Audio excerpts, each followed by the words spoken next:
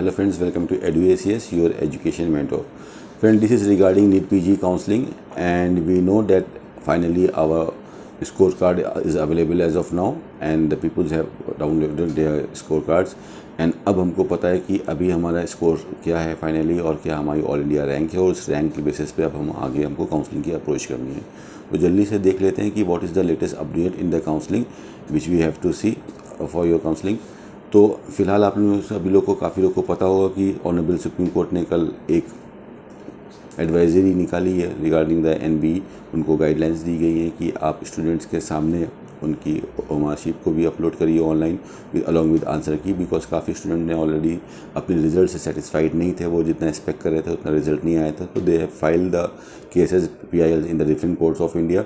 and lot of peoples have also file the R T I regarding that तो hopefully ये भी जल्दी हमारा आंसर की भी एन बी की ऑफिशियल वेबसाइट पे आ जाएगा, जिससे जो लोग डिससेटिस्फाई हैं, उन लोगों को कहीं ना कहीं पता चल जाएगा कि क्या हुआ एग्जैक्टली exactly, जिसकी वजह से उनका एक्सपेक्टेड स्कोर नहीं आ पा रहा है। पास्ट में भी ऐसी चीज़ें देखी गई हैं कि रिक्वेस्ट के बाद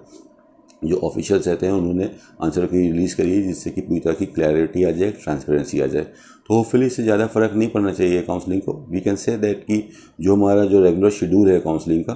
वो कहीं ना कहीं एक वीक तक आगे पीछे और हो सकता है। वी आर एक्सपेक्टिंग कि अराउंड 15 टू 16 तक एम की नोटिफिकेशन आ जाएँगे इसी 15 16 को, जिसमें वो अपना काउंसलिंग शेड्यूल डिस्कस कर लेगा कि अब उनका काउंसलिंग शेड्यूल क्या है। When they are going to release the application form what is the registration date what is the choice filling date what is the date of allotment and what is the date of joining for round number first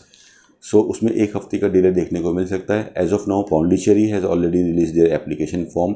and lot of peoples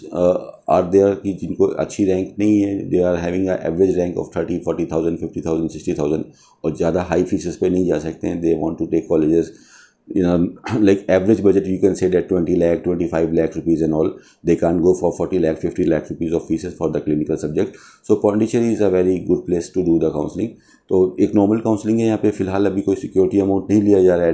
advance में you just have to enroll yourself over there and you can see that if you are getting your subject in that particular state or not So in Pondicherry, like there are total three colleges are available. One is PIMS Pondicherry Institute of Medical Science, Balankara Institute, and Sri Medical College. So all the clinical subjects in this uh, uh, state, whether that is any clinical subject, they are asking for 22 lakh 70 thousand rupees annual tuition fees. So we can see that uh, this is a like okay average uh, package around 65 to 70 lakh rupees. You are getting your subject done over there. So आप इस पौंडीचेरी के application को fill कर सकते हो all India quota से for the management seat and state वाले बच्चे तो ऑब्वियसली बात है कि वहाँ पर रजिस्ट्रेशन करेंगे and they will go for the state quota of counselling so outsiders if you belong to any part of India and you are looking for average tuition fees for paediatric general medicine ophthal E N T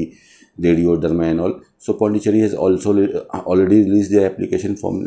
second last date is sixteen sixteen से पहले पहले आप यहाँ पे log in करके उसकी official website is Centac Pondicherry dot in यहाँ यहाँ पर आप लॉगिन करके ऑनलाइन अपनी एप्लीकेशन दे सकते हो। सो so, ये एक लेटेस्ट आपकी जो अपडेट्स हैं नीट पी की काउंसलिंग में वी कैन सी की स्कोर कार्ड आ चुका है। और ये जो सुप्रीम कोर्ट की जो गाइडलाइंस आए हैं फॉर एन बी दिस ये एक बहुत नॉर्मल सी चीज़ होती है। हर साल हम लोग देखते हैं स्पेशली पिछले दो साल में after the lockdown activities and all बहुत ज़्यादा इंटरप्शन होता है काउंसलिंग के अंदर। तो इस टाइप की नॉर्मल से इंटरप्शन से घबराना नहीं है। इसकी एक हैबिट बन जानी चाहिए। इस तरह के सभी बच्चे